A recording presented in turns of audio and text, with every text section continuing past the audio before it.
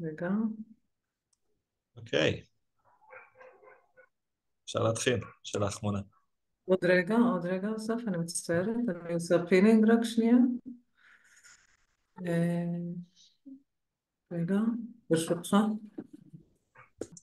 איפה אסף? תודה שהצטרפתם אלינו שוב. אה, בעצם זה, זה המפגש השני בתוך, ה,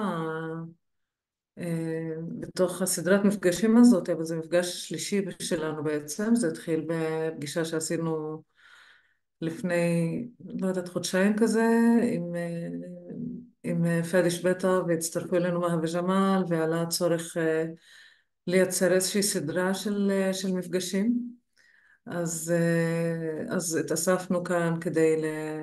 לעשות את הסדרה הזאת בת ארבע מפגשים, שבתוכה בעצם אה, אנחנו מנסים להביא קול שלהערכתי האישית עוד לא נשמע בצורה ברורה וככה אה, מובנית בצורה הזאת, לגבי שאלה שעלתה שוב ושוב, היא עולה כל הזמן. על בעצם למה, למה אנחנו לא מוצאים את ה... כאילו למה במפגשי שלום תמיד יש יותר יהודים פלסטינים מלבד, מלבד השאלה של המספר, והעניין המספרי זה כאילו לא, לא הולך בצורה שהיא מותאמת לאחוזי האוכלוסייה. אה, ולהערכתנו כל מי שנמצא כאן יש סיבה, ובאנו לספר לכם על הסיבה.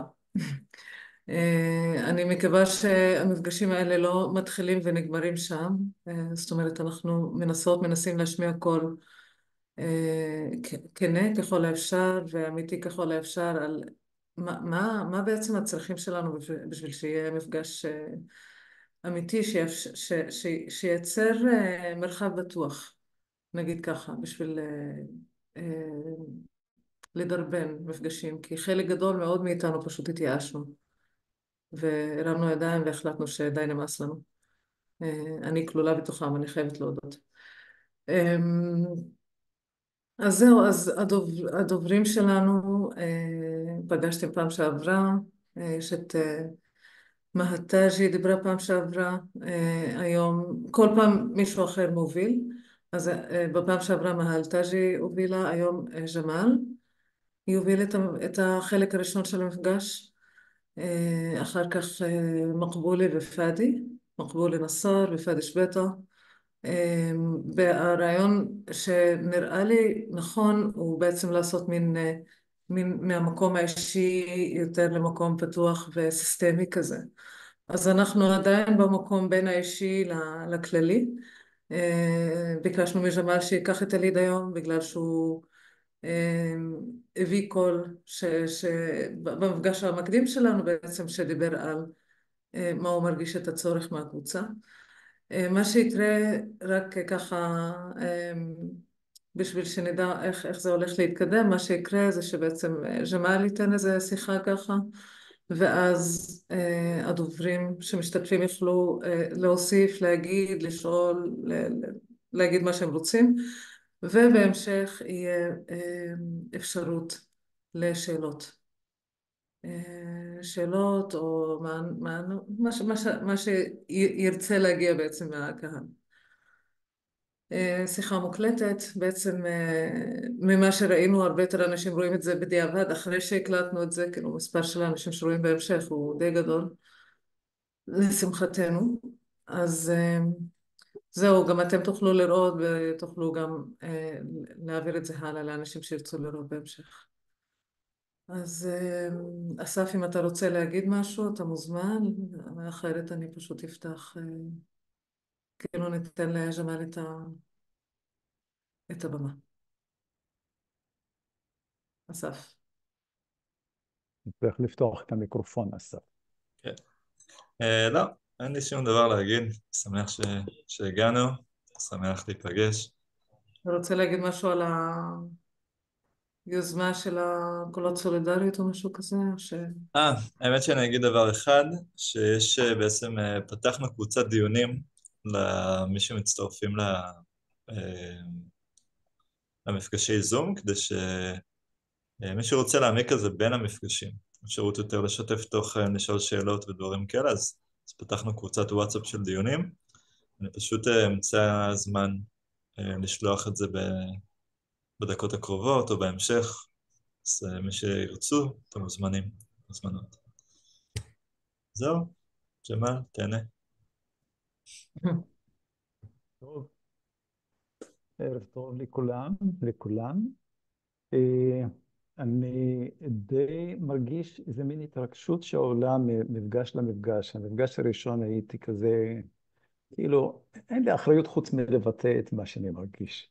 הפעם אני מרגיש די אה, אחריות, איזה, מה אני מעביר, ואני מקווה שזה לא יפגע. אמר, תתקרב למיקרופון, פליז. אה, שומעים אותי עכשיו יותר טוב? יופי. תודה, יהודית, שאת מהנהנת, אני רואה. אה, אז אה, היום אנחנו נדבר על נושא שהוא להבדיל מהנושא הקודם, ואני רוצה להזכיר שבמפגש הקודם, טוב, אני לא, לא הזכרתי את ה... לא, לא, לא הצגתי את עצמי, אני ג'מאל, אני גר בחיפה, אני בן זוג של מהא, אנחנו חיים כאן בחיפה, בשכונה אה, מיוחדת. אני אוהב אותה, קרוב לפאדי. אה, ואני, אה, הנושא שהיום אני אציג אותו הוא נושא שקרוב לליבי. קרוב לליבי ומרגש אותי. אה, והנושא הוא נושא הישראליות כסמלים והשפעתם על, הייתי אומר, ההשפעה המעכבת של הסמלים של הישראליות על, על, על מידת ההשתתפות והשותפות שמרגישים הפלסטינים אה, במרחב המשותף שאנחנו מייחלים, רוצים ליצור אותו ביחד. תרשו לי רק לשים את השעון, כי אני לא רוצה לחרוג מהזמן שאני מציב אותו לעצמי. ו, אה, והסמלים, להבדיל מהמפגש הקודם שדיברנו על מבנה הכוח, שבעצם המדינה אה, אה, מציבה אותו ועיצבה אותו, שנותן יתרון ועליונות ליהודים, אזרחי המדינה, לגבי הפלסטינים, אזרחי המדינה. הפעם אנחנו נתמקד בסמלים כוח הסמלים והשפעתם על יכולת ההשתתפות והרצון שלנו להיות חלק ממשהו משותף, שאנחנו אה, חולמים יום אחד ליצור אותו ביחד, יהודים וערבים כאן.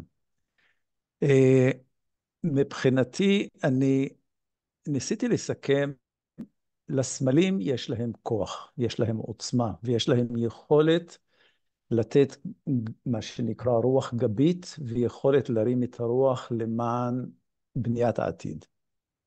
וכשאני מתכוון, מדבר על סמלים, אני מדבר על הדגל, על ההמנון, על השירה, על מסמכי יסוד כמו מגילת העצמאות, על ימי זיכרון, ימים לאומיים, לאומיים. אני לא מתכוון לימי, לחגים דתיים. אני מתכוון לימי זיכרון וימים לאומיים שבהקשר של מה שנקרא המרחב האזרחי שאנחנו חיים בתוכו. אה, ואני מביא גם כן הנושא של הצבא והשירות הצבאי, שהם מסמלים באיזשהו מקום את העבר המשותף של הקולקטיב, העם, והם גם אמורים לרומם ולתת לו רוח גבית במימוש ובניית העתיד המשותף. בעת שסמלי הישראליות קרובים ומדברים ללב האזרח היהודי, הם רחוקים מאוד, זרים, וסוגרים את לב האזרח הפלסטיני. הם מרחיקים אותו.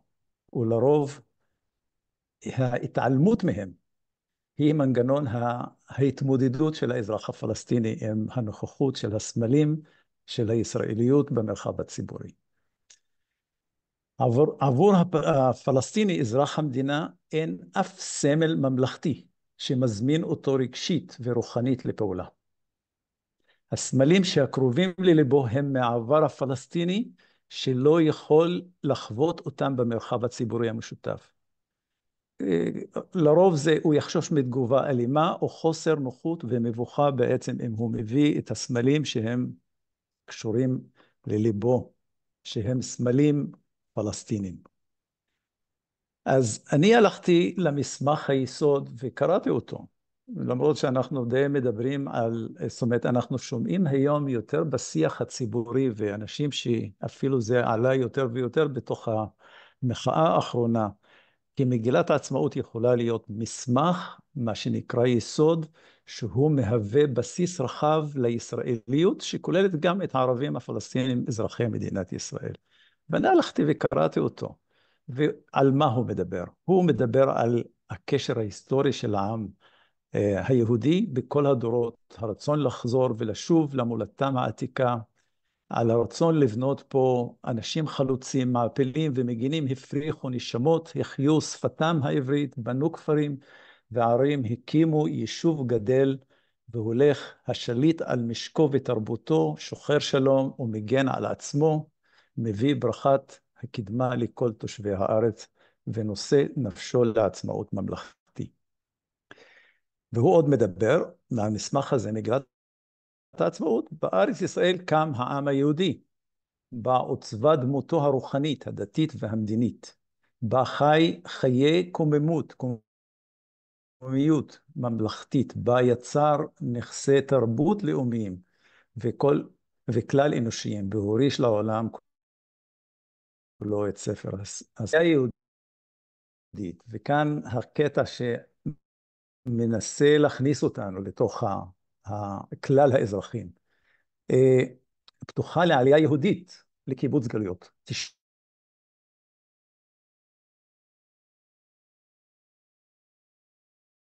תשקוד על פיתוח, על יסודות החירות, הצדק והשלום לאור חזונם של נביאי ישראל. תקיים שוויון זכויות, חברי ומדיני עבור כל אזרחיה בלי הבדל דת, גזע ומין, תבטיח חופש דת, מצפון, לשון, חינוך ותרבות, ותשמור על המקומות הקדושים של כל הדתות, ותהיה נאמנה לעקרונותיה של מגילת האומות המאוחדות. לעתים בחוגים יהודיים ליברליים ששואפים לבנות חברה משותפת בארץ, מדברים על מסמך מגילת העצמאות כמסמך בסיס לאזרחות ישראלית שוויונית עבור גם האזרחים הפלסטינים, אזרחיה, אזרחי המדינה. מסמך זה מתעלם מהמחיר שהם שילמו, אני מתכוון הפלסטינים, בעבר במהלך תקומת המדינה, העקירה, אובדן מולדת, פיזי ורגשי ורוחני, וניתוק מההקשר הקולקטיבי כבני העם הפלסטיני שחי יחד עד 1948. הוא גם לא מבטא הכרה בזהו, בזהות הלאומית שלנו, רק בזהות הדתית ובזכות פולחן דתי. אני מביא את זה כנקודה לשיח שגם חבריי השותפים בפאנל בשיח היום התייחסו לנקודות האלה. הדגל, עבורנו הפלסטינים, דגל המדינה אינו מקור גאווה לאומית, אפילו לא אזרחית. הוא לרוב מעורר תחושות שליליות שמבטאות את העליונות היהודית, בעיקר ביטוייה המדכאים, החוצפניים והמתנשאים והיהירים. ההמנון, לא רק הלחן, גם המילים מדברות רק לנפש היהודייה. לעתים רבות הוא מקור מבוכה עבור משתתפים ערבים פלסטינים במפגשים הממלכתיים. ימים לאומיים, יום העצמאות וימי זיכרון, להוציא את יום הזיכרון לשואה, בו אנחנו, הפלסטינים, יכולים להזדהות עם הממד הבינלאומי של השואה, שלא היה לנו חלק בה. האזרח הפלסטיני חש זרות, חוסר שייכות לאבל הקולקטיבי היהודי. בימים אלה אנחנו חווים רגשות מעורבים, שנעים בין חוסר נוחות להעמיד פנים לבין חוסר ההזדהות הזדהות מוחלטת עם הסיבה שהובילה לאבל על האובדנים. הפלסטיני ינסה להתרחק מהטקסים שמוסדות המדינה כופה, כופים על המרחב הציבורי ומקומות העבודה המשותפים. נדבר קצת על הצבא כסמל והשירות הצבאי כסמל שמאחד את הישראליות. סליחה, שנייה. ברוב השיח הציבורי נשמעת הגאווה, הגאווה והמחויב, והמחויבות של היהודים הישראלים על התרומה המיוחדת ויקרה שהם תורמים למדינה ולחברה דרך השירות הצבאי. הצבא הפך לסמל הפטריוטיות והנתינה של האזרח עבור המדינה שהוא חי בה. השתמטות מהשירות הצבאי, כולל אצל חלקים או חלק מהחוגים הדתיים, נתפסת כדבר שלילי וטפילי. עבורנו האזרחים הפלסטינים, הצבא הוא מנגנון דיכוי ושליטה. הוא סמל הכיבוש ושלילת החירות של בני העם שלנו. בחוויה הפלסטינית, כולל בארץ, הצבא הכין את הקרקע לשליטה על האדמות ומקורות החיים שלנו. סיפורים מלאים, החבר'ה, אני בטוח שפאדי ומקבולי יכולים לספר יותר ויותר על התפקיד שהצבא ששיחק בגזילת האדמות שלנו, הפלסטינים, בכל המקומות, כולל בעראבה, דיר חנא ויום האדמה. אני לא ארחיב כאן, אבל הצבא הוא מבחינתנו, הוא לא ביטוי של פטריוטיות ו- ותרומה, אלא מקום, מקור של דיכוי. לכן הצבא, הצבא עבורנו אינו פרה קדושה, להפך, השירות הצבאי בחברה הפלסטינית נתפסת כבגידה באינטרסים של העם הפלסטיני.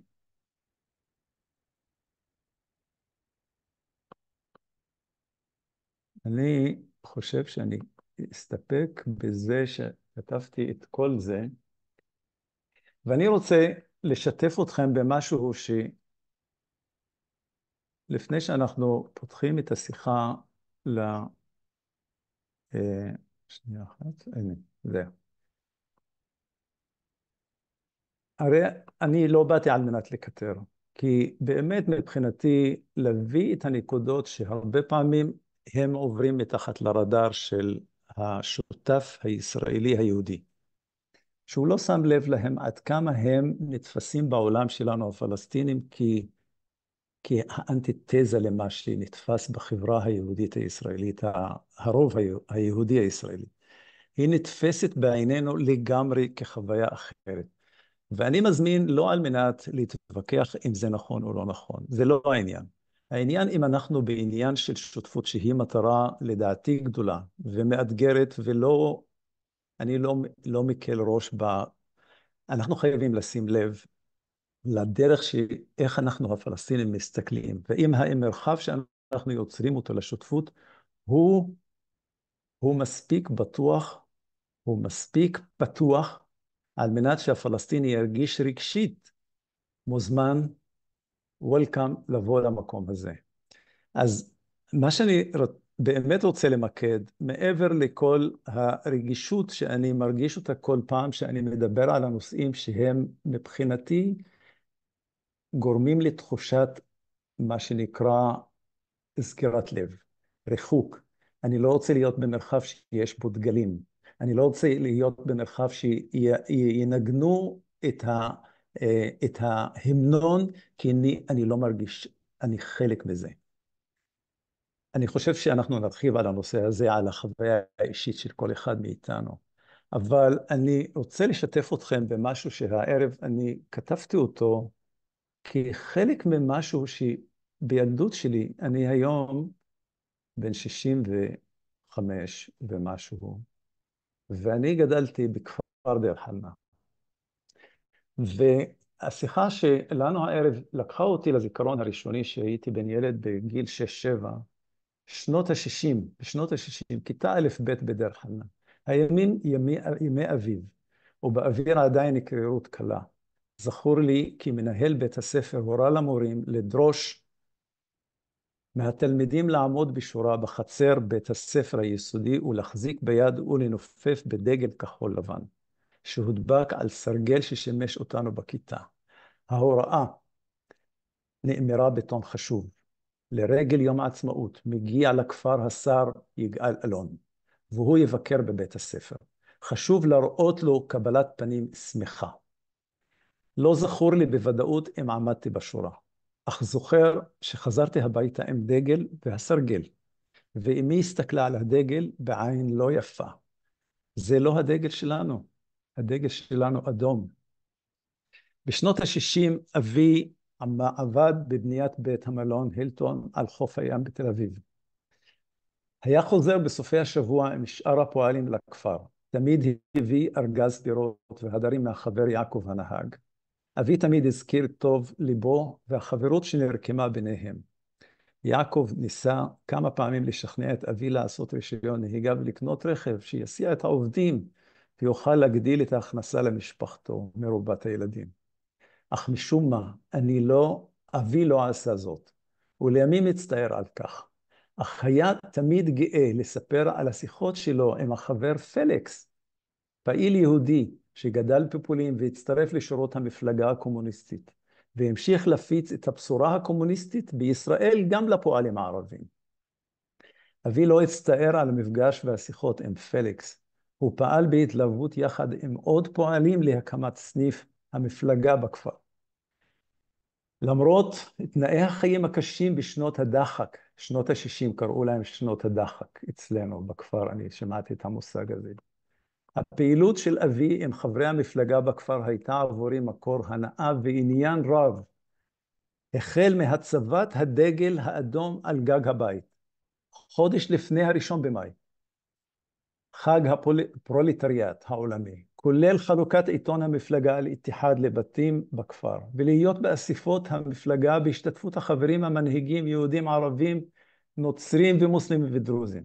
זכור לי תשובותיו של אבי על השאלות הסקרניות של, שלי לגבי השייכות הדתית של חברי המפלגה, ותשובתו תמיד הייתה, לא משנה, הוא חבר. גדלתי עם תחושת השייכות והגאווה הגדולה לדגל האדום ולהמנון הפועלים האינטרנציונל. פועלי העולם התאחדו, הרגשתי הזדהות גדולה עם סיפורי הגבורה של הצבא האדום והניצחון על הנאצים. בגיל 14 נפגשתי עם בני נוער, יהודים, והייתי ביני, והייתה בינינו אהבה ושמחת המפגש. עם נפילת ברית המועצות והמחנה הסוציאליסטי חשתי אובדן ואבל. היום אני לא מתחרט. אני, מח... אני ממשיך לחפש בית משותף. ולכן אני מדבר איתכם עוד הערב. אז אני מסתפק בזה, דיבר, ואני מעביר את השרביט למי שתרצה אולי לפתוח ולהשלים אולי מסביב לנקודה הזאת, איפה בעצם הסמלים של הישראליות, איפה הם, איך הם משפיעים על הנכונות שלנו הערבים להיות חלק מבניית מרחב משותף. אה, אולי, אולי אני, מקבולי, אני אתן לך את ה... אם בא לך לפתוח, אני... הפלת את זה על מקבולי. הפלתי את זה, לא, כן. אוקיי, סבבה, בסדר גמור. אז תודה ג'מאל. אה, רק כאילו, אתה מזכיר לי בעניין של הבית ספר והדגל, ורק לידיעת כאילו כאן כל הנוכחים במפגש, אה, יום העצמאות, שירים בערבית, דגל ישראל, בתי ספר, עד שנות ה-80, נראה לי בחברה הערבית, תזכירו את הדברים האלה ואז תקבלו את, ה, את אותו צחוק, את אותו אה, אה, כאילו גם אה, ממש כאילו צחוק על האבסורד, על הדיכוי, על. כי, כי זה בדיוק המנגנון.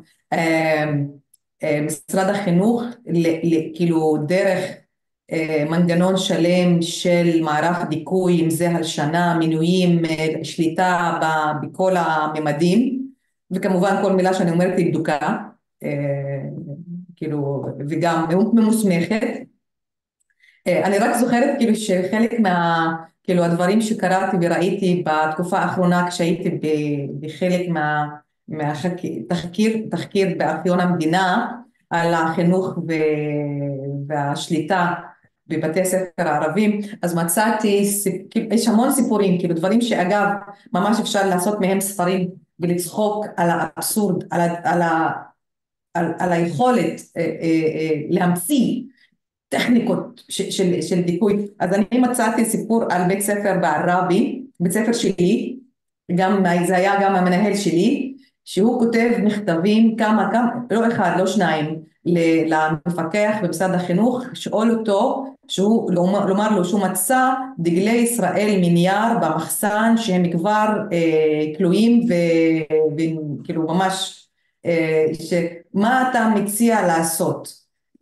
כאילו הוא פחד לזרוק אותם לפח, פחד לשרוף אותם, פחד, פחד, פחד, זהו, הוא שולח מכתבים כדי לוודא שזבל שנמצא במחסן, שהוא בצבעים, כאילו, הוא, מה, מה, האם מותר לו לזרוק אותו?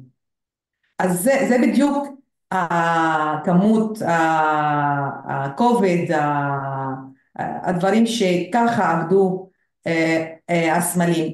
אגב, כאילו, אני בדרך כלל גם סמלים שלא כופים אותם עליי, ויש אנשים שמאמצים אותם לעצמם, אני, אני פחות איתם בבעיה, ואני אגיד לכם את האמת, שהרגשתי הכי פחות בעיה, לא שזה נעלם לגמרי, אבל הרגשתי הכי פחות בעיה עם דגל ישראל בזמן שזה היה סימן המחאה. אה, למרות הידיעה שזה גם היה תגובה להרמת דגלי פלסטין ונגד, כאילו, ונאבקים נגד הכיבוש שהיו בהתחלה. אה, אה חשבתי שאני צריכה להציג את עצמי, סליחה, סורי, אה, רואה שאלות אחרות. אה, אבל כאילו נכון שהדגל ישראל בזמן המחאה היה כאילו, כאילו משמעות שלו הייתה אחרת ועובדה שאני ממש הייתי בהלם וכאילו אני זה היה לי הלם לשמוע שהיו ימנים קיצוניים יהודים שתקפו יהודים אחרים אה, מתנגדים להפיכה אה, כי היה להם דגל ישראל. כאילו ישראלים ימנים תקפו ישראלים שמאלנים שהיה להם דגל ישראל, כי זה המשמעות, אז, אז הקונטקסט של כל הדברים תמיד, תמיד, תמיד משתנה, אבל כמו שאתה אמרת, הדגל, ההמנון, אה, הצבא, אה, אני, אני גם מכניס את, ה, את כל הסיפור של, ה, של, ה, של הטרמינולוגיה, שהוא גם חלק מהדברים שמנסים לכפות אותם עלינו, כאילו איך אתה מגדיר, איך אתה אומר x, y, z, אז, אז זה, זה גם כל ה... כל, כל העניינים האלה. אני נזכרת במשהו שהיה לי השבוע גם, אה, כאילו אתמול דווקא, כאילו בתוכנית שלי ברדיו, אה, שהתקשר מאזין שהוא דרוזי והוא סיפר שהוא גם, אה, אה, כמובן שהוא מתנגד לכל ההתקוממות של הערבים נגד המדינה, לא יודעת מה, לא משנה לו, כאילו בכללי ככה, והוא אומר אני גם שירתתי בצבא וצריך להגן על המדינה וכולי וכולי, והוא גם מציין שגם הוא, האדמה שלו נפקע, מופקעת, וגם הוא כואב לו, אמרתי לו, אבל מה אתה לומד מזה? אז גם האדם הזה שהוא לקח חלק בסמלים, מאוד, הוא עדיין מאמין בכל רגע וגם ברגע הזה שהוא צריך לשלוח את הבן שלו להילחם אה, אבל הוא אף פעם לא היה, כאילו, חלק, חלק מהסמלים, חלק מההגדרה, לא יודעת, אבל, אבל אתה לא חלק מהדבר המרכזי שעליו מושתתת את כל התיאוריה. אתה לא חלק מהאדמה, אתה לא שותף. האדמה הזו, כאילו, אנחנו, ממה שאנחנו סובלים ממנו, שכל המכלול הזה הוא מוביל לכל הסיפור של גאולת האדמה, כמה שפחות ערבים אה, אה, על אה, כמה שיותר ערבים על פחות, על פחות אדמה וזה מה שאנחנו כאילו מבחינתנו מתמודדים, מתמודדים איתו.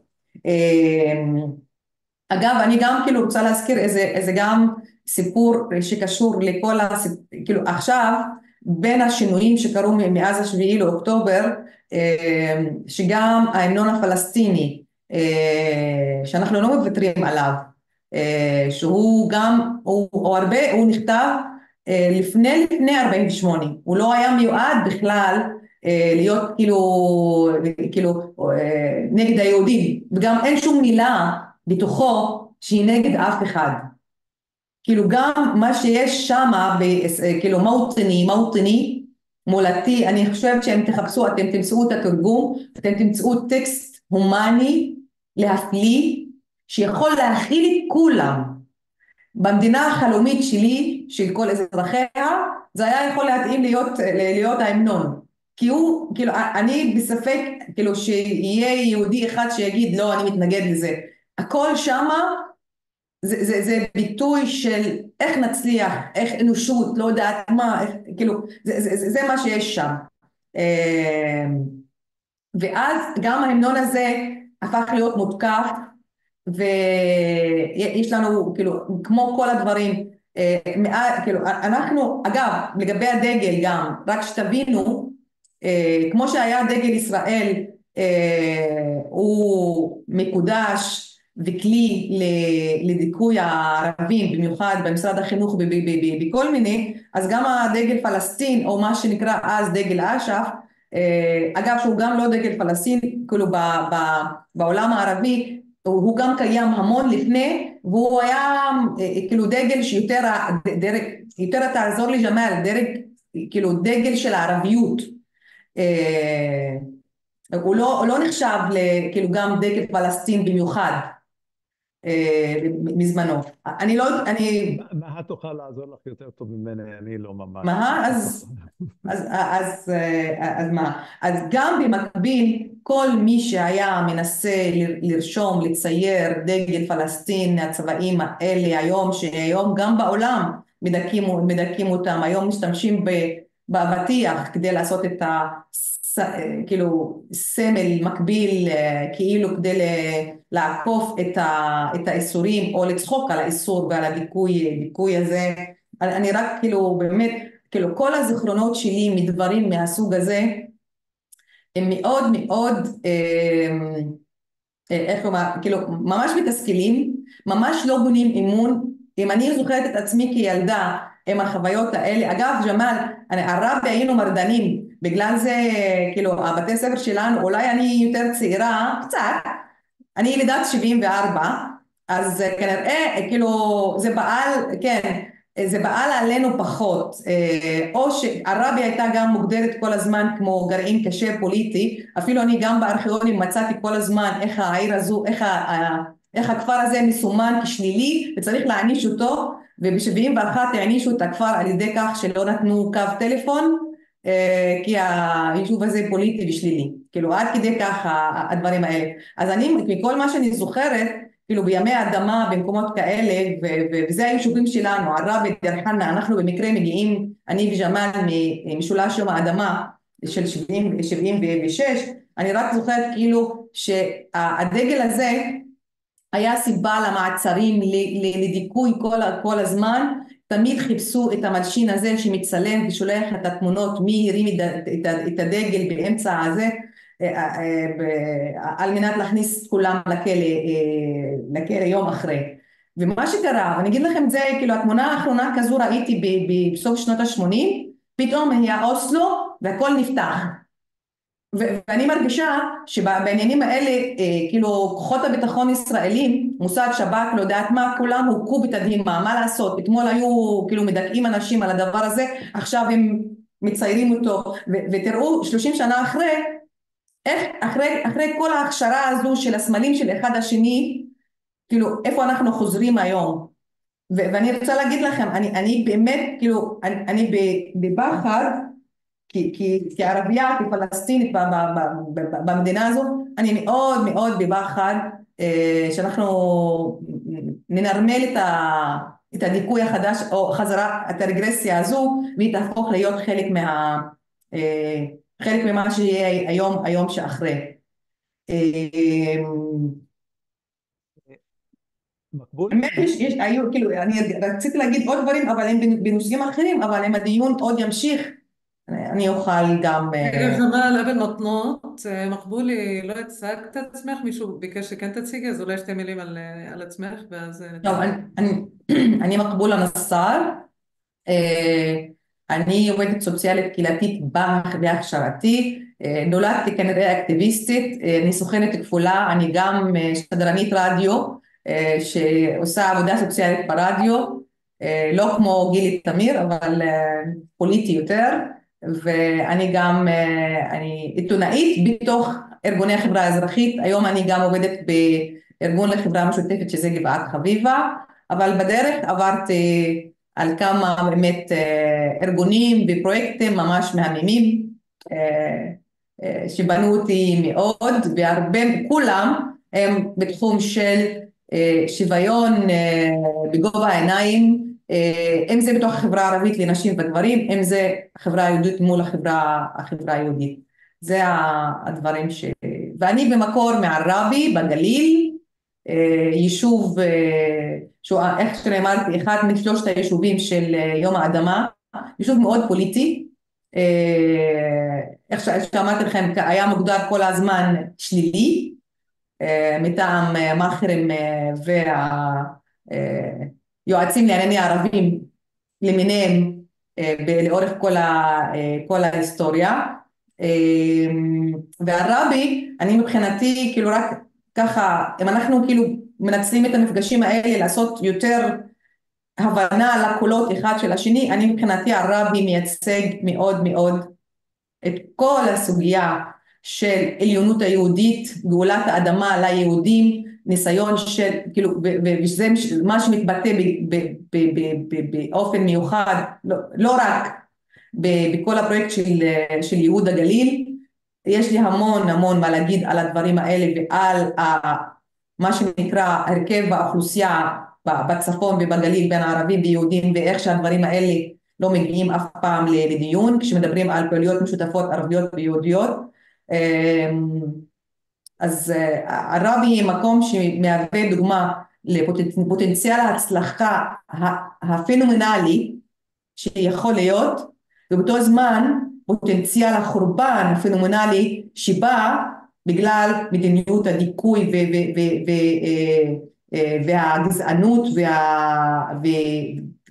ובעצם החנק, החנק הפיזי שקורה לערבים. אנחנו יישוב שיש בו אחוז הרופאים הכי גדול בעולם, אבל גם אנחנו בדרך להיות עיר עם רצח, אלימות, ירי יומיומי, כמו בכל מקום אחר, זה יהיה וזה יהיה.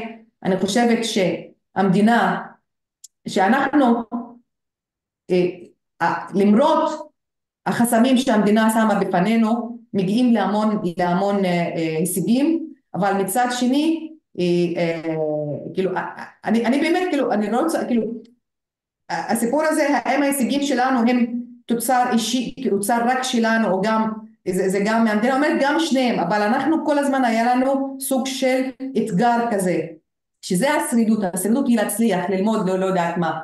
אז אני באמת רוצה כאילו להביא פעם חשבון, לדעת כאילו, איך המאמצים שלנו הביאו לכל כך אקדמאים ורופאים ומשכילים, ואגב, וגם אחוז הפסיכולוגים הכי גבוה גם בעיר, אה, לא בעיר, במדינה.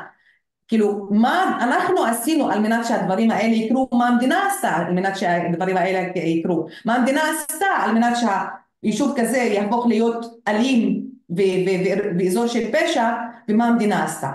ובאמת, אני, אני הייתי באה פעם ושמה את הדברים האלה על, על, על השולחן, כי, כי בסוף מתברר שהחברה הערבית, והערבי כדוגמה במצב הזה, עשתה המון, עשתה המון על מנת לשרוד ולהיות משהו גדול, חיובי, טוב, משכיל, נותן, מייצר במדינה הזו. והלוואי שיהיה, ש, ש, שהייתה המדינה נותנת יד ודווקא, ולא עושה את ההפך. שוכרן מקבולי, אני מרגישה שאני קולטת... אל תגידי להציג את עצמי שוב, כי יצא עוד סיפור. אבל אה, אני קולטת, אה, קלטתי גם תנועה כזאת של פאדי, שרצה להגיד משהו באיזשהו שלב, ואחר כך ג'מאל. אז בואו, אני כן נוטה להחזיר את ה... למה אני רציתי להגיד משהו? אתה תחכה. אני רוצה, אני אתן לך אסף גם, אבל uh, קודם אני רוצה uh, לאפשר לג'מאל רגע להגיד את מה שיש לו להגיד, ותוך כדי אני רוצה שנייה, לפני שאנחנו ממשיכים, uh, לציין, כי שכחתי לציין בהתחלה שאנחנו נמצאים בתקופה uh, של השתקה נוראית אה, ואני מרגישה שזה ממש אמיץ מכל מי שנמצא כאן אה, להיות אה, עם נכונות לבוא ולדבר בכנות כזאת, כי זה אשכרה מסוכן. אז תודה, תודה על הנכונות הזאת. אז את פותחת לי לנושא הבא, עזה. אבל בואי בואי, אני רוצה לתת לג'מאל ואני אתן לך את האפשרות לדבר על זה, מקבולי עוד שנייה, אוקיי? אני, אני רוצה, לה, קודם כל תודה מקבולי שהזכרת את כל הארגונים שעבדת בהם, ואני רוצה להזכיר שהשיחה שלנו היא בקונטקסט של המפגש היהודי הערבי, ואני אשמח מאוד גם שנסתכל ולהביא את הניסיון האישי של כל אחד מאיתנו בהקשר של המפגש היהודי הערבי, כי הוא בא מאינטנשן טוב, ואיך הסמלים והסמליות הישראלית יכולה להיות מה שנקרא מכשול. זה הזמנה שלי גם לפאדי ולמהה. טוב, האמת שמונה, לא, לא עשיתי סימן, אבל אם כבר... אה, זה, לא, לא, אני קלטתי עליך מקודם, בסדר. אמ, טוב, כל עניין הסמלים בסופו של דבר, זאת אומרת, אפשר להסתכל על הסמלים כמשהו באמת סימבולי ולהסתכל על זה מנקודת מבט של אה, אה, כשישראל קמה אז אה, לא שמו לב והיה חוסר רגישות ויהודים אהבו צבע כחול ולבן ולכן עשו את הדגל ככה אה, ושכחו להזכיר את הערבים בהמנון אה, וכולי. אבל בסופו של דבר אנחנו כולנו מבינים שהעניין של הסמלים בסופו של דבר הוא מסמל משהו. והוא חוזר לסיפ, לסיפור המקורי של למה יש פה בעיה ושל מי המקום הזה. אה, וכשנבחרו הסמלים של מדינת ישראל, אה, בדיוק אחרי שהכריזו על, על קומה כמדינה, זה היה בדיוק אחרי שהקבוצה של, שברובה היא יהודים מבחוץ, מחוץ למקום הזה, הגיעו לפה, זרקו את מי שהיה פה, ותבעו בעלות על המקום. ואז עשו דגל שמייצג את, ה, אה, את הישראליות החדשה, את היהדות הישראלית, אה, המנון שמייצג את זה וכולי, ובעצם אה, זה בא להגיד, המקום הזה הוא שלנו, הוא גם בלעדית שלנו, כמו שהתנועה הציונית אמרה מלכתחילה, אנחנו באים להקים בית לאומי, וזה הסמלים של הבית הלאומי ליהודים. ואז גם כל טרמינולוגיה, מקבולה הזכירה הטרמינולוגיה, אה, בדרך כלל אנחנו לא נשמע שום אה, אה, פקיד ממסדי או, או אפילו בן אדם ממוצע ברחוב היהודי שיגיד המיעוט הפלסטיני בישראל, או שיגיד הפלסטינים בישראל. זה בני המיעוטים, וזה גם חלק מאותה, מאותה תפיסה של המקום הזה הוא שלי, ויש פה עוד כל מיני אנשים שלא ברור איך הם הגיעו לפה. בני מיעוטים, כל מיני קבוצות כאלה, קצת מוסלמים, קצת נוצרים, קצת דרוזים, אה, מדיניות הפרד ומשול קלאסית של כל שלטון, שלטון קולוניאלי אה, בכל מקום אחר. אה, אז זה תביעת בעלות, הגדרת הסמלים כדי להראות של מי המקום הזה, ולהסתכל על כל, כל מי שלא, שזה בעצם התושבים המקוריים שגורשו כדי להקים את המקום הזה, כסוג של בני מיעוטים שלא ברור מאיפה הם באו, פחות או יותר. אה, לאחרונה אנחנו גם רואים, בכל משבר, אנחנו פתאום רואים אה, דגלי ישראל אה, פורחים בכל מקום.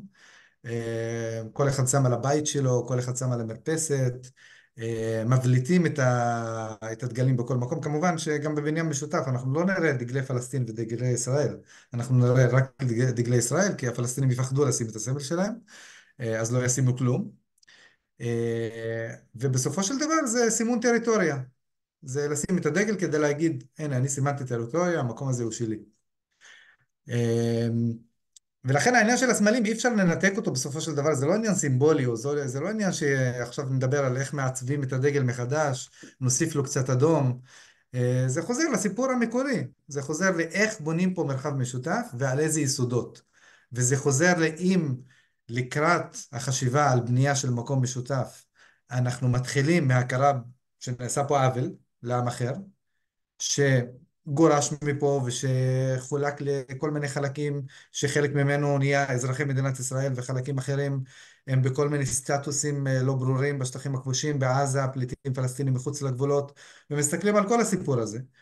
ואז מסתכלים היום על, וחושבים מנקודת מבט של אוקיי, אנחנו מודעים לזה, מודים בזה, אבל אנחנו לא רוצים ליצור עוול חדש, ואנחנו רוצים לדבר על איך בונים מרחב, מרחב משותף שיש בו גם ערבים וגם פלסטינים וגם יהודים אה, בצורה אחרת, אבל שמתחילה מהכרה בעוול, כי אחרת אין, אין טעם בכלל לא לדבר על סמלים ולא, זה הכל הופך להיות אה, דיבור שטחי, אם לא מתחילים מהסיפור המקורי. אז מבחינתי כל הסיפור של הסמלים בסופו של דבר אה, אה, נכנס בתוך, אה, בתוך הקונטקסט הזה. אה, לא, נראה לי אני אפסיק פה, אני יכול להמשיך לדבר על אה, מה שג'מאל דיבר עליו קודם, אה, כל מיני התארגנויות של שותפות ערבית יהודית ומה המשמעות שלהם ואיזה התארגנויות הן באמת משמעותיות ואיזה התארגנויות הן יותר מה שנקרא דוקי. אם הדיון ילך לשם אז אני אשמח גם להתייחס. אנחנו נגיע גם לדוקי כשהזמן יגיע ואני גם אז אה, שנייה, אני יודעת שמקבולי רצית לדבר על ההשתקה. אה, אני רק מודעת לזה שאסף ביקש להגיד משהו ומהה עוד לא דיברה. אז אני רוצה שנייה, אסף, אם אתה רוצה, לפני מהה, או שניתן את הבמה למהה ואז אה, נפתח לך את האפשרות? מה אתה מעדיף? רק רציתי להגיד משהו פרקטי, אז להגיד כן. ש... אנחנו לא מאפשרים למשתתפים לדבר במפגש, אז לא אמרנו את זה בהתחלה, אמרנו את זה בתחילת המפגש הקודם. מה שאנחנו כן מאפשרים זה לכתוב שאלות, ואז אה, מונה תוכל אולי לבחור שאלות אה, נבחרות או אני. אה, תארגנו דוקי זה דו-קיום. תודה אסף, אנחנו נדבר על זה בהרחבה ב- בהמשך. הייתה שם שאלה ב... ההבדל בין דוקי לכל ואני, אשלח... זה זה כמו, יש גם מושג באנגלית כזה של מולטי קולטי, אז זה מאותה משפחה של המולטי קולטי זה הדוקי. אז אה, מולטי קולטי זה מולטי קלצ'רל, כן. אה, אז רק, אז אתם מוזמנים אה, לכתוב שאלות בצ'אט אם תרצו, וגם להגיד שאני אשלח עוד מעט את הקישור לקבוצת וואטסאפ אה, של דיונים, למי שירצו. תודה רבה. מה?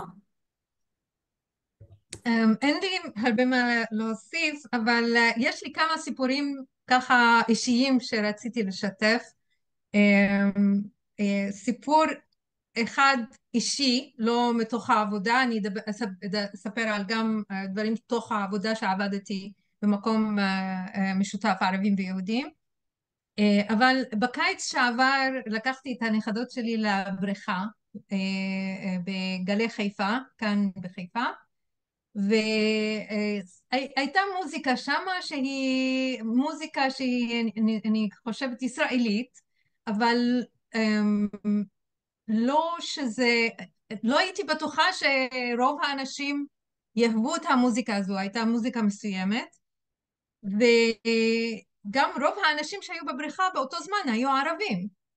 אז uh, הלכתי לשומר שם וביקשתי ממנו, אמרתי מי אחראי על המוזיקה? אפשר להחליף? אפשר לשים לנו, אולי תשימו לנו משהו אה, אה, אנגליזי, אנגליזי כזה, משהו באנגלית או משהו כזה. לא ביקשתי ערבית. אומר לי, אני לא בטוח שאני אוכל, הלך, עשה משהו, שינה, ואז שוב, אחרי שיר אחד, חזר לאותה מוזיקה שהיא בכלל לא הייתה נעימה. רא- ראיתי שהיה שם אה, אה, שומר ערבי אה, ושהוא מכיר את ג'מאל ואמרתי אני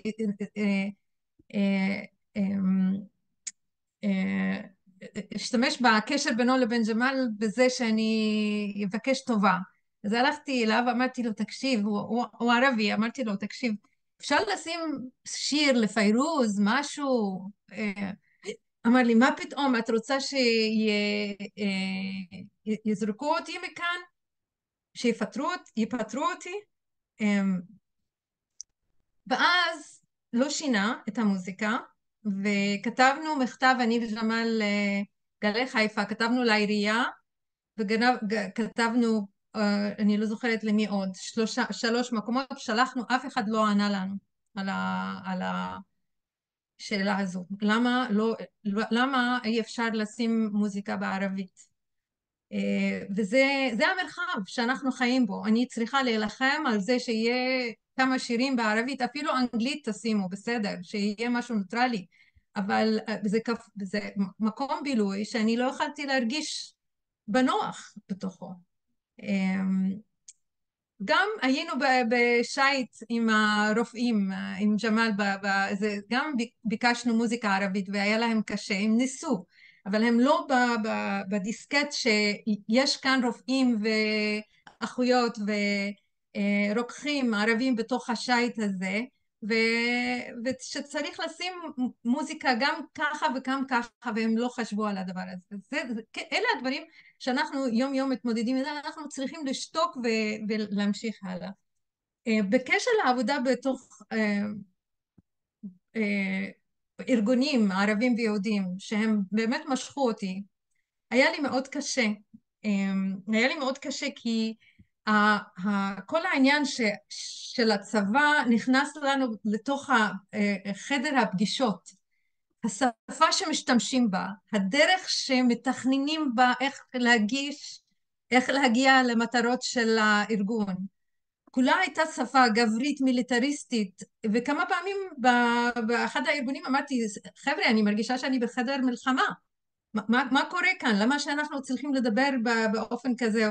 והם הסתכלו עליי, שני גברים יהודים, הסתכלו עליי כאילו הם לא בדיוק הבינו, ככה כאילו זה משהו מוזר, כי זה חלק מהתרבות, המיליטריזם הוא חלק מהתרבות, ומשפיע גם על, ה, על החוויה של העבודה, ביחד. היא לא עבודה פמינין כזה, אנוש, נשית, אה, מעגלית, היא כזה מלמעלה עד למטה עם אסטרטגיה וטקטיקה ומטרות ודרך העבודה הייתה אחרת לגמרי. גם עזבתי שני ארגונים מתוך אי הרגשה שהמטרה הייתה מצוינת, אבל הדרך שאנחנו היינו עובדים הייתה אנטי, בדיוק אנטי הדבר המשותף הזה. אני, גם בגלל שדיברנו על, ה, על הצבא, אני חושבת שחשוב גם לדבר על, ה, על המשטרה, שדרך אגב, דרך יוזמות קרן אברהם, אחד הארגונים שעבדתי בתוכם, עבדתי בהם, עבדתי במיזם של המשטרה. ואז פגשתי שוטרים ועבדתי עם שוטרים ועשינו תוכנית חינוכית לשוטרים כדי שיבינו את החברה הערבית ושגם נבין אותם, שיהיה קשר יותר טוב. קודם כל, עצם את זה שהמשטרה עצמה מזניחה את החבר, החברה הערבית, זה אני כערבייה וגם כאישה, זה דאבל כזה פחד שאין לי מי לדבר. והם מתנהגים. והם לא כמשטרה, לא. כהבנה, הם לא מבינים בכלל בשלטון חוק, הם באמת חושבים שהם משרתים את המדינה, מדינה, הממשלה, שהם של הממשלה, לא של האזרחים, הם לא משרתים את האזרחים, משרתים את... הם יעשו מה, שה... מה שהממשלה תגיד להם. והיום אנחנו רואים את זה ובזה שיש לנו כיתות כוננות תחת ה... כאילו תחת ה...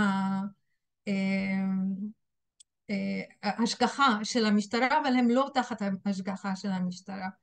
ו... וזה גם כל ההרגשה של הביטחון. אה, אני בתקופה האחרונה מרגישה שה... בוא נגיד ככה, שכשאנחנו במצב של הישרדות, אנחנו יותר מתרחקים מהדבר הזה של מה אנחנו בונים ביחד לגבי העתיד. אני היום במצב של הישרדות. אחת החברות שלי אחרי שביעי באוקטובר, הערבייה אמרה לי, הדרך היחידה עכשיו שלנו לשרוד, אה, בערב שקיף אתרגם אמשי אל-חייט אל-חייט, ואול יא רבי סוטרה. הראש למטה, איך, איך מתרגמים את זה אה, ג'מאל ופאדי ומקבולה? ללכת צמוד לקיר. ללכת צמוד לקיר, צמוד לקיר ולהגיד אלוהים ישמור. זה, זה ביטוי כזה בערבית. לא להרים את הראש, יא. כן, אה, אסור, אסור לה, להרים את הראש עכשיו. וגם אה, בסביבי אני הולכת בים ואני רואה אה, אה, אנשים באזרחי עם, אה, עם אה, רובה כזה ארוכה ואיזה איזה שותפות, על איזה שותפות אני מדברת? אני, אני עכשיו בבית אה, חושבת ומתכננת איך, איך לברוח, איך לברוח מכאן. אז השותפות הולכת ומתעלמת ומת, לי. אה, כי אנחנו היום במצב יותר ויותר של הישרדות מאשר היינו לפני כמה שנים, אז המצב אה, הידרדר. זהו, אני חושבת ש... דבר אחרון שאני אגיד על המרחב הציבורי ועל ההרגשה של הדיכאון, דיכוי, סליחה. גם דיכאון. אה, השפה הערבית בשלטים גם מדכאת אותי. יש דיכוי באיך שמשתמשים. עכא היא לא עכו, היא עכא בערבית, ואז אסור לכתוב אותה עין, עין כף וו, כי היא לא עכו, בערבית היא עכא. אה, אמ, אל-קודס במקום ירושלים או אורשלים, או אני לא יודעת מה כותבים שם, אל-קודס, ודברים כאלה. פשוטים מאוד, אבל השפה הערבית הם מעובדת כל הזמן, וגם זה סוג של, של דיכוי שאני מרגישה. אה, הוא סמלי, אבל הוא לא סמלי, הוא אומר, הוא אומר משהו. כל, כל הסמלים האלה גם, היא לא רק סמלים, היא גם מזכירה לנו כל הזמן שאנחנו לא שייכים, אנחנו, אנחנו, השייכות שלנו היא פריבילגיה. שאתם כאן, אתם צריכים להגיד תודה, כי אתם במקום הרבה יותר טוב, כאן אנחנו במקום הרבה יותר טוב מאשר בירדן, או סוריה, או לבנון, או מצרים, או תוניס, או בכל מקום ערבי אחר. תלכו שם אם אתה לא, לא, זה לא טוב לכם גם, תלכו לשם. ו, וזה גם בדיוק מתחבר ל-48 כשאמרו, לכו לעבדאללה. כולכם אותו דבר שמה, תלכו לעבדאללה.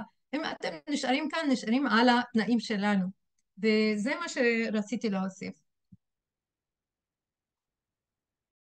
شكرا مها مقبولة بدك تحكي حبيبتي شكرا كثير مها כן, אני בזמן שדיברנו על עניין של הטרמינולוגיה ועל על, כאילו גם איך שהמדינה לקחה את הזכות לעצמה לקרוא לעצמה, לעצ, לקרוא לנו מה שבא לה, זה גם, זה גם עניין, אבל אני כאילו בכלל גם, זה, זה רק מעניין את, את, ה, את המינוח, את הטרמינולוגיה, איך קוראים לערבים בישראל, לפלסטינים בישראל, אז כאילו אני, אני כאילו כתבתי פה את כל השמות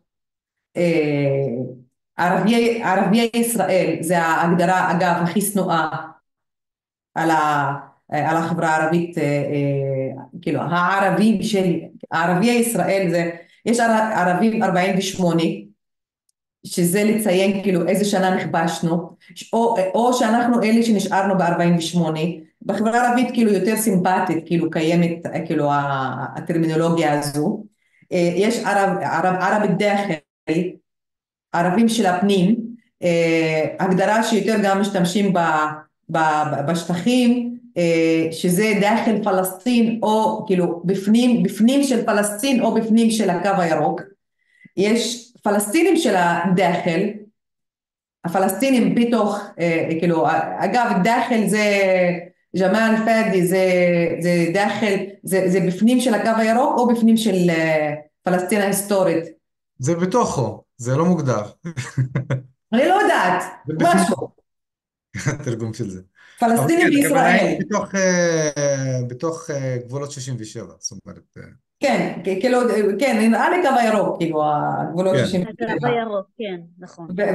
וההגדרה, וכאילו, וההגדרה האחרונה שהיא נראה לי, היא הכי חר... אני, אני עכשיו לא אומרת עמדה מסוימת, אני משתמשת פלסטינית אה, בישראל, אה, היא הפלסטינים בישראל.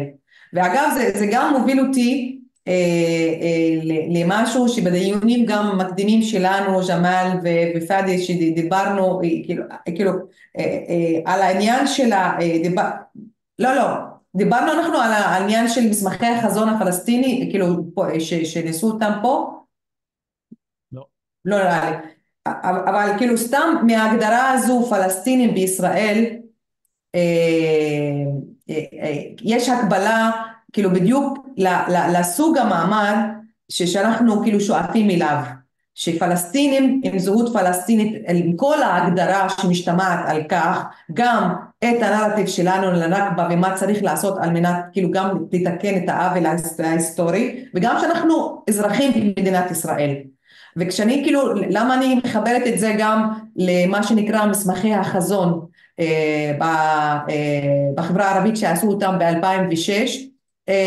ב-2006 יצאו מסמכי חזון שעבדו עליהם קשה, ממש קבוצות גדולות של חוקרים, פעילים, פעילות, אקדמאים ולא אקדמאים ופוליטיקאים מכל התחומים ורשויות, זה היה בוועדת המעקב וזה היה, המטרה הייתה להכין מסמכי חזון עתידי לחברה הערבית בישראל, לחברה הפלסטינית בישראל, שתענה על שני דברים מי אנחנו ומה אנחנו רוצים. ואגב זה מסתכם בסוף אנחנו פלסטינים אזרחי מדינת ישראל. אבל איזה מדינת ישראל אנחנו רוצים?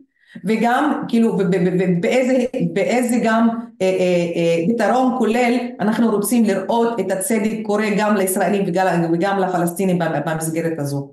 אה, אז זה רק על העניין של טרמינולוגיה איך מגדירים את עצמנו שזה בעצמו הוא יכול להיות תזה מסוימת לאיך אנחנו רואים את הדברים ואני לא חושבת שיש בזה משהו, שום דבר שיכול לאיים על החברה היהודית. להגיד שאנחנו פלסטינים אזרחי ישראל.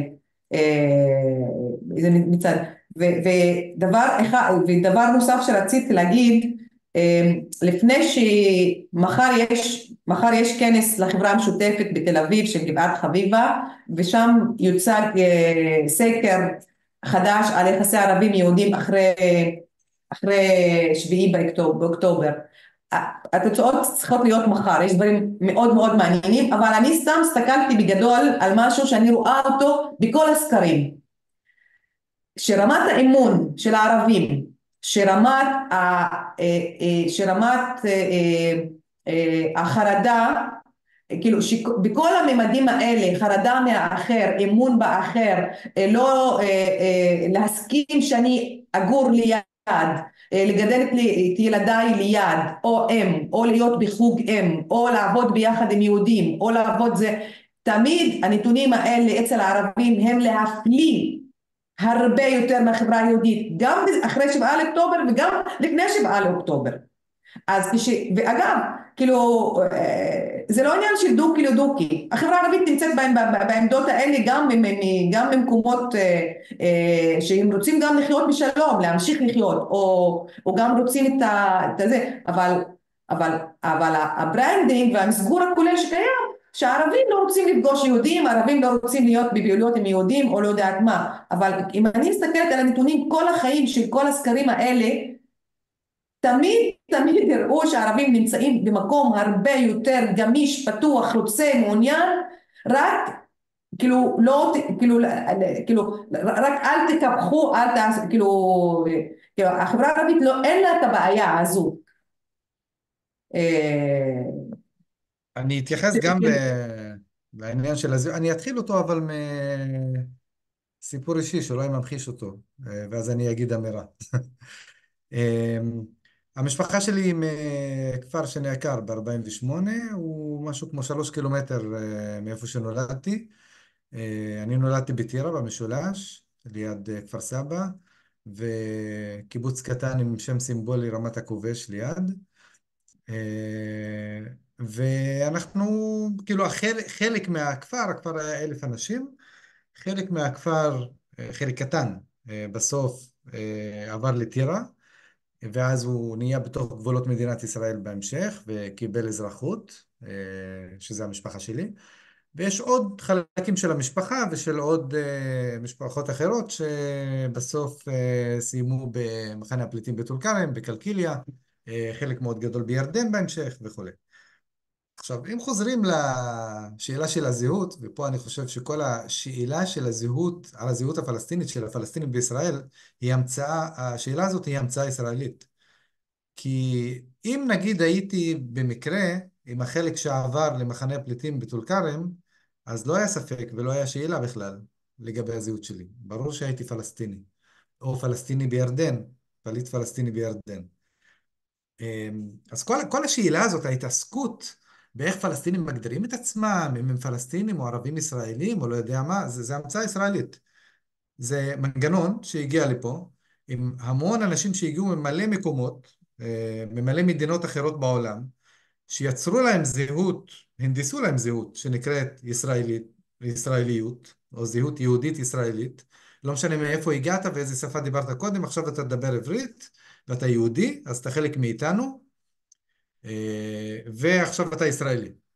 ואת הפלסטינים, תושבי המקום, שאין בכלל שאלה לגבי הזהות שלהם, הם היו פה והם היו אה, משהו אורגני אה, במקום הזה.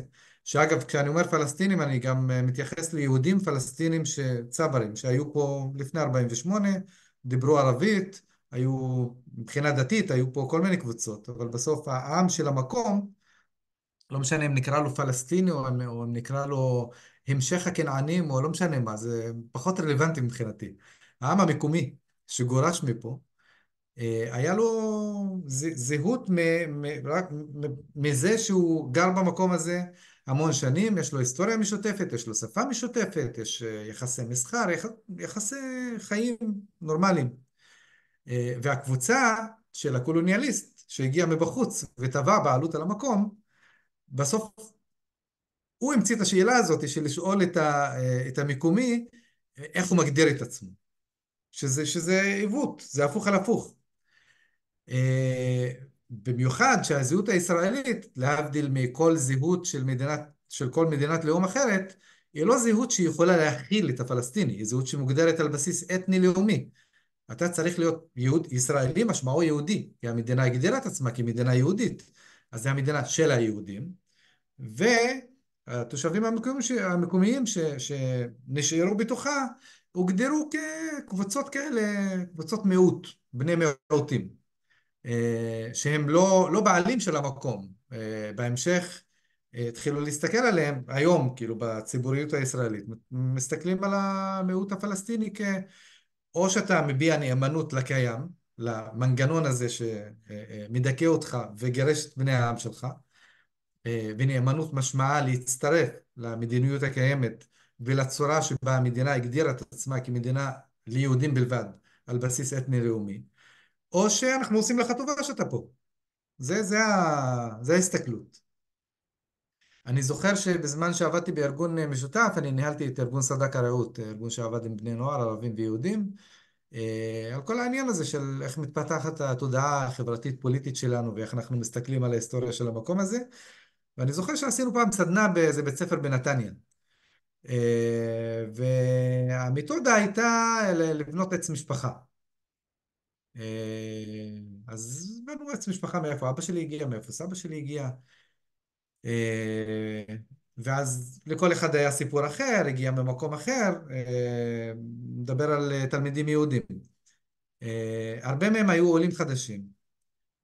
ואז בהמשך הסדנה העלינו את ה... דיברנו על הפלסטינים, ואז, ואז הם שאלו, אבל באיזה שנה הפלסטינים עלו לפה?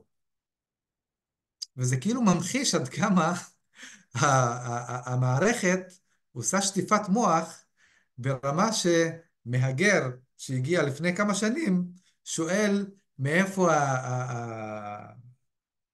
מאיפה האוכלוסייה המקומית אה, שהוא הגיע לתפוס את המקום שלה, מתי היא היגרה לפה ובטרמינולוגיה ציונית, ומתי הם עלו לפה. אה, מתי, כאילו, מה תאריך העלייה שלי בתעודת זהות. אה, אז גם כל העניין הזהותי הזה בסופו של דבר הוא חלק מהנרטיב שה, שהמדינה בנתה, של, של מי המקום הזה, של לתבוע עליה בעלות, של לבנות קבוצה שהיא היהודים הישראלים על בסיס אתני-לאומי, ולהגיד המקום הזה הוא שלנו, ומי שרוצה להישאר במקום הזה צריך לקבל את העובדה הזאת, וצריך לקבל איך המקום הזה מתנהל, וליישר קו ולהרכין ראש. תודה, פאדי. כבר אמרתי שאני אף פעם לא מבינה מתי פאדי מסיים משפט. אני אני ראיתי כמה... רגע, רגע, ז'מאל, סליחה, רק שנייה, אני רוצה להיות בתשומת לב שיש לנו עוד רבע שעה, אה, ויש אה, אה, ככה שתיים או שלוש שאלות שעלו. אם יש משהו מאוד מאוד דחוף שאתה רוצה להגיד בקיצור, אני לא יודעת כמה זמן, אולי יהיה לנו זמן לענות על שאלה אחת, בגלל שיש הרבה מה להגיד על כל דבר. אבל ג'מאל, אם יש משהו שממש חשוב לך להגיד, אז בבקשה. אני רציתי לענות על אחת השאלות. אז איזה שאלה אתה רוצה לענות? על האזרחות. בבקשה. מה התכנים שאני רוצה לצקת, ואני חושב שזו השאלה המשמעותית מבחינתי. זאת אומרת, כל העבר הוא העבר. אנחנו יכולים רגע רק להגיד את השאלה? אה, כי לא כולם קראו אותה? אה, אולי מישהו יקריא את זה, אני לא מוצא. אז אתה היית רוצה לשאול על תפיסת האזרחות של הדוברים, מה האזרחות ישראלית עבורם? כן, כן, כן. איזה תוכן הם יוצקים לתוך האספקט הזה של הזהות שלהם, אה, אזרחים? לגמרי. בבקשה. זאת אומרת, מבחינתי, כל השיחה הזאת היא במטרה לא, לא לשים אצבע בעין ולהגיד לך, לצד היהודי שאתם כאלה וכאלה וכאלה ואתם לא ברי שותפות. אני כן רוצה את השותפות. אני לא מוצא את עצמי כפלסטיני, אזרח המדינה הזאת, מחפש מקום אחר לחיות בו. אני כן רוצה לחיות במקום הזה יחד איתכם. אני רוצה אתכם שותפים שווים, מלאים לכל מה שהם יכולים להיות פה. אז מבחינתי אזרחות היא לא רק עניין של אה, משהו טכני. אני לא מסתכל על זה אם יש לי תעודת זהות אה, ואני יכול להצביע. או אני אה, נאמן, אני משרת בצבא או לא משרת בצבא. האם אני אה, מכבד את החוקים של המדינה או לא. אני חושב שזה האזרחות ברמה הכי בסיסית שאני מצפה מאדם ש... כאזרח חי במדינה הזאת. אבל כאזרחות ברמה גבוהה שאני מצפה מעצמי ומאחרים, היא מה אני תורם למקום הזה. מה אני יכול להביא למקום הזה שהוא יהפוך להיות מקום שכולנו יכולים לחיות ולגרום לאחרים לרצות לתרום. אני חושב שזו השאלה שהיא עומדת בפני כל אדם שאני מדמיין לעצמי יושב כאן בתוך המיליה הזה, שמחפש איך אנחנו יכולים ליצור לא איזי מסגרת שהייתי אומר אה, אינסטרומנטלית שהמדינה יצרה אותה והגבילה אותה לנאמנות לדגל, נאמנות לצבא או נאמנות למגילת העצמאות, אלא משהו הרבה יותר גבוה. אני שם את הרף הרבה יותר גבוה. רף של לא רק נאמנות, אלא ownership, שייכות ובעלות, לא בעלות שאני בעל המקום הזה, אכפת לי מהמקום הזה. ואני כפלסטיני היום, עם כל המציאות הקיימת, זה מגביל אותי. הפערים האלה שמייצרים אותם בתוך השיח בינינו, נאמנות, שייכות, האם זה, זה לא הבסיס שאני מחפש אותו, אני מחפש הרבה יותר גבוה. שאנחנו פה יהודים וערבים, מכל הגוונים, אנחנו יכולים להרגיש שאנחנו שייכים ואכפת לנו מהמקום הזה. ואנחנו רוצים אותו באמת בתפיסה היהודית, מה שנקרא בספרי האור לגויים, במובן אור לכל העמים שנמצאים פה באזור הזה. זה מחייב אותנו לשותפות שהיא ברמה הרבה יותר גבוהה מהאזרחות הקיימת. היא לא מספקת, לא אותי, ואני בטוח הרבה מכם לא מספק אותה מהאזרחות ברמה שהיא קיימת היום. ולכן מבחינתי זה האזרחות שאני רוצה אותה, אזרחות שלא מתורגמת להמנון ולא מתרגמת לדגל ולצבעים, אלא למה אני יכול לתרום למקום הזה מתוך זה שאכפת לי מהמקום הזה.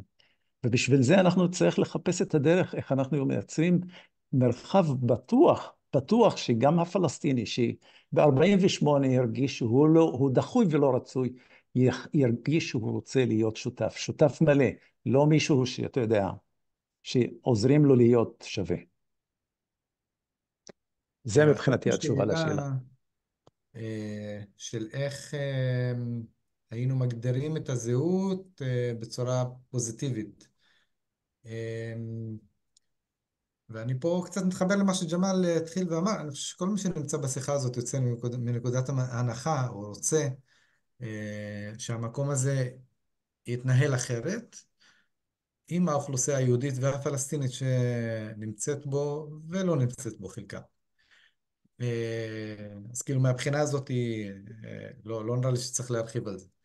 אה, מישהו פה אמר גם בשאלות, ראיתי, אם, אם אימפריאליזם הוא בסדר אם הוא נגד יהודים, כי יהודים סבלו בזה, מזה ב... לפני שהם הגיעו לפה, נכון, ולא, זה לא בסדר, כאילו, אין, אין לי הרבה מה להגיד על זה. זה כאילו, צריך להסתכל על דברים בסטנדרט אחד, גם פה וגם שם. ומבחינת זהות פוזיטיבית, טוב, המקום הזה לא יכול להמשיך להתנהל ככה, כאילו, ב... הוא יכול, כן? הוא יכול אה, להמשיך להתנהל במלחמות ו... ועל בסיס של כוח, ו... ועם הזמן גם יחסי הכוח משתנים, ו... וזה גם יכול להתהפך, וכאילו הוא יכול להמשיך להתנהל אה, על, על כוח ושליטה. אבל אם אנחנו מדברים על בנייה של משהו אלטרנטיבי, אה, משהו משותף וגם זהות משותפת, אז הזהות הזאת היא קודם כל לא צריכה להתבסס על שייכות אתנית לאומית. לכל אחד מאיתנו יש מלא זהויות אחרות, לא רק הזהות הלאומית שלו, וכל מקום אזרחי אמור להיות מעבר לזהויות האלה. כל אחד יגדיר את עצמו איך שהוא רוצה, אבל המקום הזה צריך להיות, צריכה להיות בו זהות מכילה וגם אה, מאפשרת לכל אחד להגדיר את הזהות שלו איך שהוא רוצה. אה, אבל בסופו של דבר העניין הזהותי הזה הוא לא עניין סמלי, אם התחלנו לדבר על אה, סימבולים. הוא חוזר לסיפור המקורי עוד פעם, של אם מפשטים את הסיפור לגמרי, קבוצה שהגיעה מבחוץ, היו פה אנשים, לא היה עם ללא ארץ, אה, לארץ ללא עם, היו פה אנשים, גירשו את האנשים שהיו פה, את רובם, ו... וטבעו בעלות על המקום לקבוצה אחת. לזהות אחת. ולכן כל הדיון הזהותי זה, זה, זה, בגלל שהמקום הזה הוגדר על בסיס זהותי, הוא הוגדר כמדינת היהודים. זה המדינה הגדירה את זה. ואם מדברים על אלטרנטיבה או על בנייה של זהות פוזיטיבית, אז הזהות הזאת צריכה ללכת למקום של קודם כל לפ... לפרק את הדבר הזה. להגיד אנחנו לא רוצים לחיות במדינת היהודים, אנחנו רוצים לחיות במדינת היהודים והפלסטינים. ואנחנו רוצים לקחת אחריות על העוול שנגרם פה, לעם אה, שגורש ושילם את המחיר של ההקמה של המדינה הזאת. אה, על כל מה שמשתמע מזה, אחר כך אפשר לדון אה, המון באיך מעצבים כזה תהליך, זה יהיה תהליך ארוך, וזה, וזה צריך גם לכלול לא רק את הפלסטינים בתוך ישראל, זה הפלסטינים בתוך ישראל, וזה השטחים הכבושים, ועזה, ו, כי, כי, והפליטים הפלסטינים בחוץ. לדעתי, מבלי בסופו של דבר להגיע לשינוי תודעתי של אני מכיר בזה שנעשה עוול ועכשיו אני רוצה לראות איך מתקנים את זה בלי לגרום עוול אחר, אה, אי אפשר, אי אפשר להתקדם, וגם אי אפשר לדבר רק על ישראל אה, בתוך גבולות 67. אה, כל הסיפור של ההתנחלויות וכל הסיפור של שחלק גדול מהציבור הישראלי היום חושב שהשטחים זה כמו בתוך 67, והוא צודק בזה, כי גם בתוך 67 ו-48 זה הוקם על אדמות של אנשים שגירשו מהאדמות שלהם, ובאותו היגיון המתנחל יכול להגיד, למה שאני לא אעשה את זה? אתה עשית את זה ואתה עכשיו גר בקיבוץ שיושב על אדמה פלסטינית. אז כאילו בלי לתקוף את הסיפור הזה כולו, ולקחת אחריות עליו ולראות איך מתקנים אותו, אה, אי אפשר לדבר על זהות משותפת או זהות פוזיטיבית אחת. אה, ואם רוצים לעשות את זה, אז צריך להתחיל משם. צריך להתחיל מלהסתכל אחורה, לראות איפה אנחנו נמצאים היום, ואם אנחנו הולכים ורוצים להיות פה בתנאים אחרים, ב... ב אה, אה, בסיסטם אחר, כי צריך לפרק את המערכת, צריך לפרק את הסיסטם ולשים במקומו סיסטם אחר, שהוא משותף לפלסטינים וליהודים. ואז זה יכול כאילו ללכת למלא כיוונים, זה יכול להיות אה, פתרון שתי המדינות שאני חושב שהוא כבר לא ריאלי, זה יכול ללכת לקונפדרציה, זה יכול להיות ללכת למדינה אחת, זה לא משנה, אבל מבחינת ה... מה שעומד מאחורי זה, צריכה לעמוד מאחורי זה קודם כל ההכרה בזה שנעשה פה עוול לעם אחר, לקחת עליה אחריות ולהתחיל להתקדם משם, לכיוון של בנייה של מציאות משותפת. אה, זהו, מונה אמרת שאת אף פעם לא יודעת מתי אני מסיים משפט, אז... לא, לא, זה דווקא היה ממש אחלה סיום, זה היה כזה סגירה. עשית טון יורד, זה עבד הפעם. אני תוהה, אה, יש לנו עוד שש דקות, אני תוהה אם מישהו מכם רוצה להתייחס ממש בקיצור ל... הייתה שאלה, יהיה מעניין אם מישהו מהדוברים יכול להתייחס לקונפליקט על האמירה, אה, כאן אתם חיים יותר טוב מכל המדינות הערביות האחרות, אבל אם לא טוב לכם לכו למדינה ערבית אחרת, ובין החיבור שלכם למקום הזה כמקום בלי קשר למדינת ישראל. אז לאמירה הראשונה, תודה רבה, אנחנו מאוד מעריכים את זה. מה בדיוק כתוב לי שפה? אני יכולה להגיד אה, כמה מילים על הדבר הזה. מבחינת הקונפליקט והחיבור, אני רוצה להגיד אני כדוגמה למשל, אני כאן ישראלית בתוך הפנים של ישראל, אה, פנים 48. יש לי דודה שהיא אחות ובני דודים, שהיא אחות של אימא שלי שהיא ירושלמית, אין לה תעודת, אה, אין לה, יש לה גביעות, אה, תוש, תושבות גביעות, אבל אין לה אזרחות, ויש לי עוד דודה שהיא אחות של אבא ברמאללה. אנחנו מחוברים, וגם הייתה שאלה כאן על השביעי באוקטובר, אם זה שינה, מה זה שינה, מה, מה עשה. ונדמה לי שאמרתי את זה uh, קודם, uh, במפגש האחרון, אבל אני אגיד אותו שוב. בעיניי אני אזרחות, uh, איך, איך מעצבים את האזרחות, אזרחות חדשה, שיש לנו בעלות ושייכות אליה, בעלות עליה ושייכות אליה. אני היום, אחרי השביעי באוקטובר, אפילו לפני, אבל לפני לא, לא הבנתי מה קורה אצלי. הבנתי שיש משהו תקוע. אבל אחרי השביעי באוקטובר אני מבינה הרבה יותר שאי אפשר ליצור שום דבר, לא לערבים ולא יהודים, אפילו אם אנחנו היינו לא כאן, גם ל... לערבי ישראל, לפלסטינים הישראלים. אם היינו, לא, לא היינו כאן, אי אפשר לעשות שום דבר בלי לפתור באופן מדיני ובאופן צודק את ה, אה, הבעיות של המרחב היותר גדול ולטפל בכל הנושא של הכיבוש וכל הנושא של הפלסטינים בעזה ובגדה המערבית. וזה בשבילי חשוב אה, לפני כל דבר, וזה אפשרי. ואני הייתי באיזה מפגש לפני כמה ימים, מישהי בחורה ישראלית שהיא במקסיקו ואמרה משהו על ה... היא לא מבינה מה, למה, למה היא נולדה בתוך הדבר הזה, המדמם הזה. ואני בעצמי רוצה להגיד, אה, כי הייתה שאלה גם על זה, האם זה היה טעות שהיהודים הגיעו.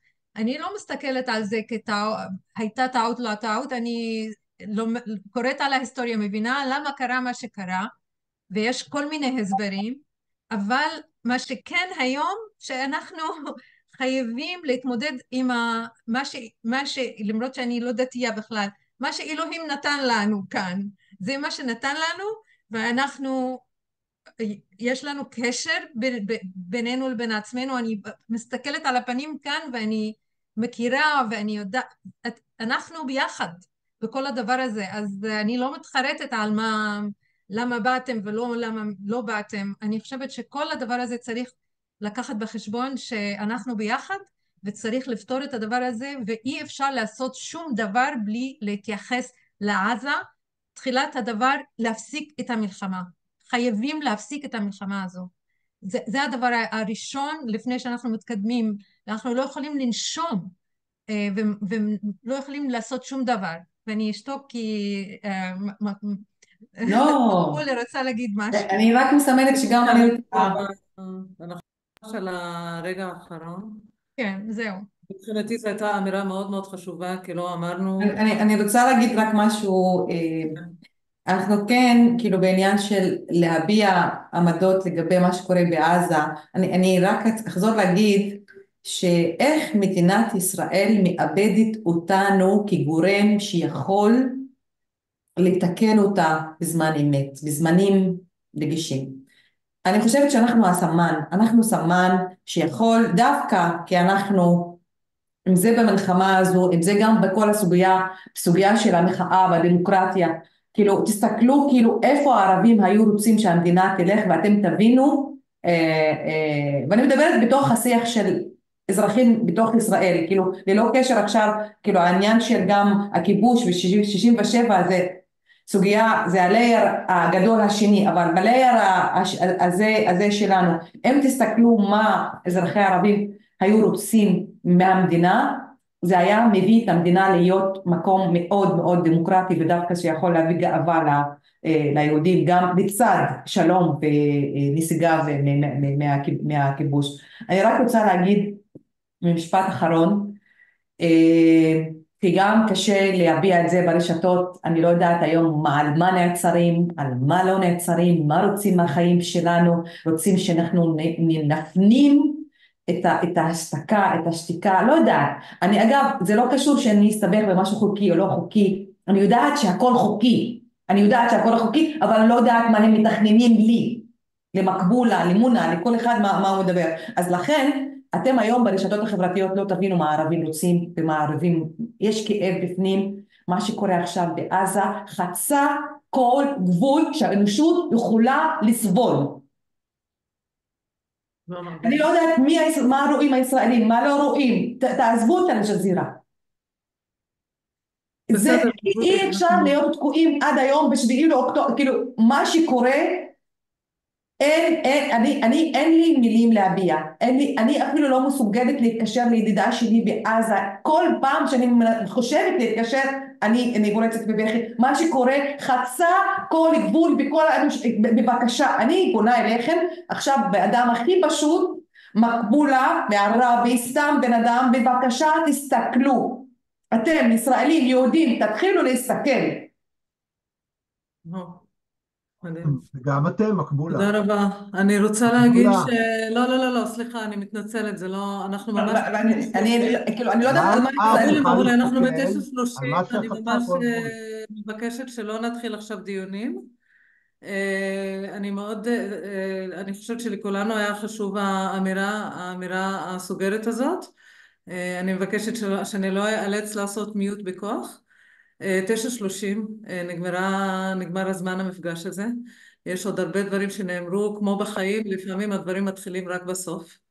כאילו אנחנו יושבים פה ומדברים וחושבים שעשינו שיחה ובעצם הנושא מתחיל, מתחיל ממש להגיע לליבה שלו רק בסיום המפגש. יש, כמו שאמרתי, הרבה דברים שעוד לא נאמרו ועוד הרבה דברים שרוצים להיאמר. יש לנו עוד שני מפגשים. אז אני אשמח אם אנחנו נרשום לעצמנו ככה נקודות שיובאו עוד להבא. אם יש דברים שממש בוער לכם להעלות, אתם מוזמנים לכתוב לאסף או לי, ואנחנו נדון בזה כנושא לשיחה. אני רוצה שוב להגיד ממש תודה לדוברים, זה מאוד מאוד אמיץ לדבר בימים האלה. אני מקווה שיכולתם ככה לפגוש את הדיבור במקום טוב. אני באופן בטון אישי מאוד רוצה להגיד תודה על הסיום הזה, כי אני מרגישה שבלי שהיינו מדברים על זה, זה היה מנוכר ומנותק מהמציאות. אז חשוב לזכור באיזה מציאות אנחנו חיים עכשיו,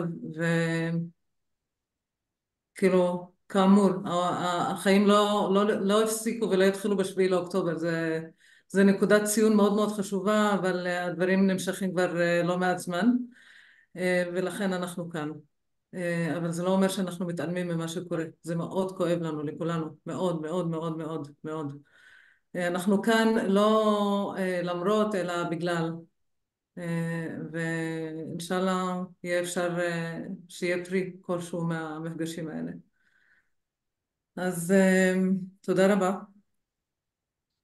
אסף, אם אתה רוצה להגיד איזשהו משהו ככה לסגירה טכני, או איזושהי אמירה כלשהי שחשוב לך לציין?